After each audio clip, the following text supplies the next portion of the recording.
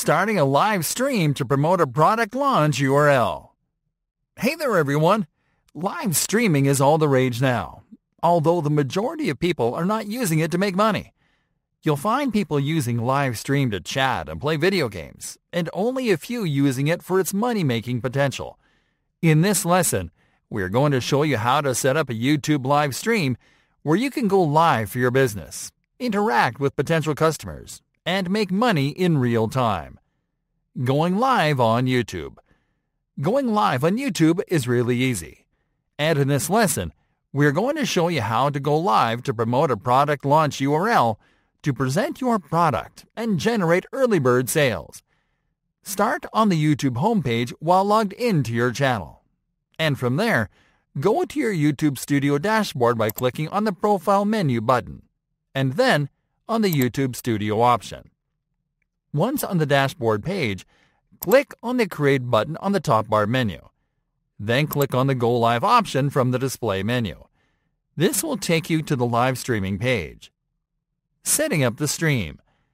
Now it is time to start setting up the live stream. First, make sure to allow YouTube access to your camera and microphone so the live stream runs. Now click on the Stream tab. Here you are going to add your live stream information. Enter the name of your live stream into the Create a Title field. Here you are going to enter the name of your product launch. Now you are going to add the product launch description into the description field.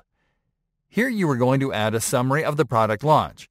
Make sure to include your target keywords and search terms for maximum exposure. The next step is key you are going to insert your product launch URL at the end of the description. You will entice viewers to take action during the live stream to encourage them to learn more about the product by clicking on the URL in the description. This is how you are going to drive conversions during the live stream. Now make sure that the stream is set as public, and then click on the Category menu button to select the correct category for the stream.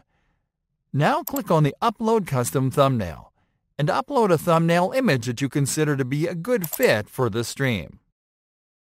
You can use the product cover or an asset from the product launch kit as the thumbnail. Lastly, select the No It's Not Made for Kids option in the Audience section. Starting or scheduling the stream.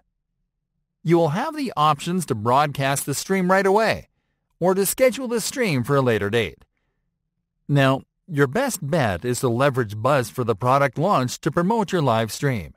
So, you have to make sure to either schedule the live stream to make time to promote the broadcast or to promote it heavily on social media before you go live.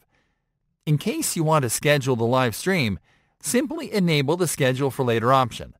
Then click on the Date field and use the Calendar function to pick a date. And then click on the Time field to select the time of the broadcast. Once you schedule the broadcast, click on Create Stream. On the other hand, if you are going live right away, simply disable the Schedule for Later option and then click on Stream.